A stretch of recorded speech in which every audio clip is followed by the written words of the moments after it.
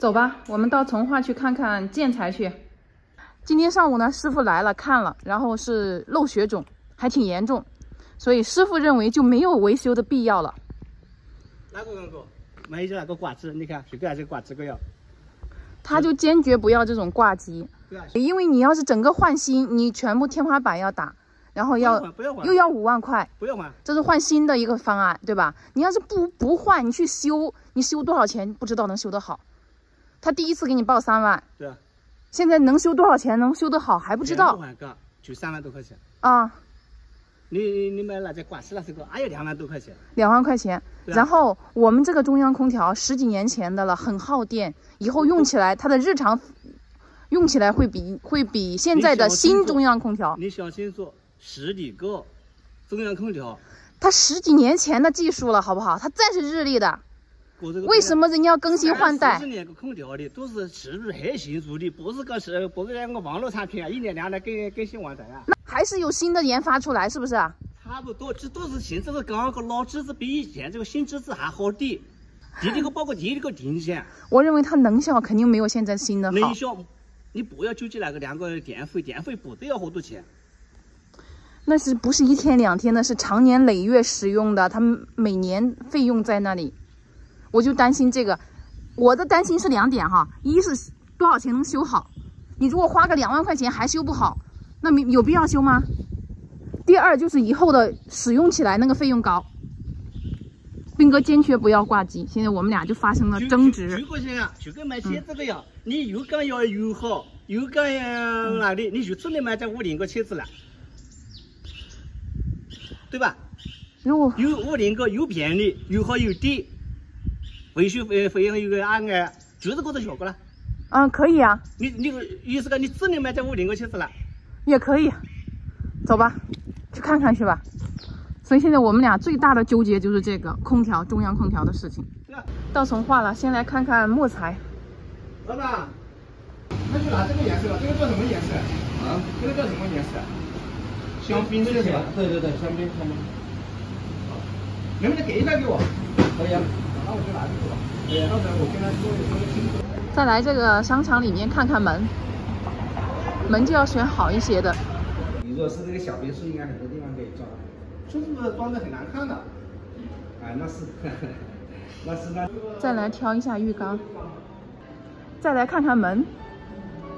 木门的话在那边，这是卫生间门，你可以看一下。先把木门啊，木门的话在这边你可以过来。对，现在这边是。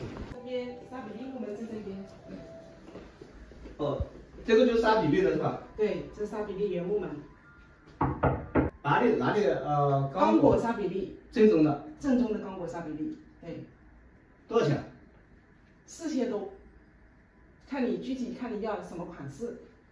呃，这个是榻榻木门，它的价格是比较贵一点，然后普通的呢就便宜，啊，直接升级到最后的就三千六百八行就做不行我就没办法了。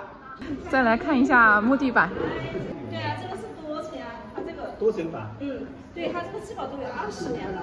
哎它就是油木的。面料皮就是油木的面料对对对它就是油很薄很薄的那种油对对对对对对对对对是的现在下午的五点五十逛了很久中午没睡觉特意出去逛的将近有五个小时也看了很多东西浴缸，然后那个木地板，还有木门，还有那个又想不起来了，反正看了很多很多啊。唯一满意的就是那个木门，当场就下定了，全额定款的，付款的。那个木地板嘛，有点超出我的预算了。等下我们去网上去看一下再说。呃，还有那个浴缸啊，我在网上明明看到这五千块钱左右的，他那里说要八千块钱。同样的款式，同样的牌子啊，对啊，就是那个秃秃的吧。所以我们决定还是在网上看。今天还有那个水龙头，发现有两两万多的、三万的。就是一个浴缸上配的水龙头，你们能想象吗？我以前到人家家看到一个浴缸贵，我从来没想到人家一个水龙头都要两三万块，它比浴缸贵多了，是不是？浴缸几万块块打包了。但刚才今天我们看到他浴缸，你是你是没问他浴缸的价钱好吧？一般的浴缸他们都没有那个，有一万多的、两万的，在网上我都看到很多的。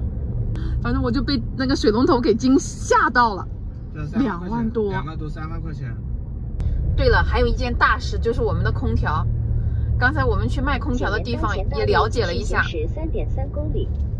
如果我们再换整套的呃大金的中央空调，是需要十万块的。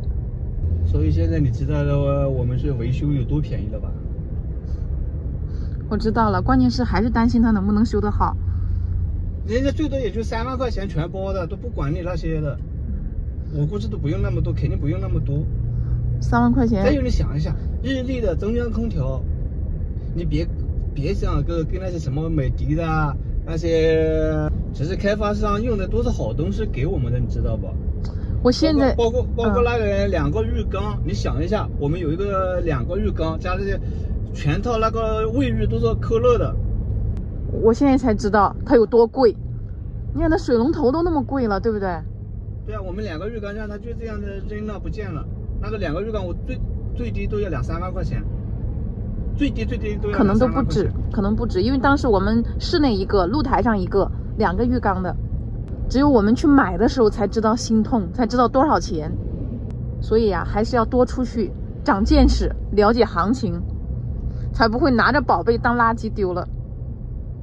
所以空调呢，明天销售人员就再上门看一下实地情况，看能不能用不影响美观的情况下用挂机。还有就是一个热水器的问题，现在是考虑用燃气的还是用空气能？明天销售一起上门给我解决这个问题。我也想赶快结束用热得快的日子。装修真的是一件心力憔悴的事情，特别是像现在这种拆旧换新。今天把这里全部已经清出去了，剩下的地板下次再清。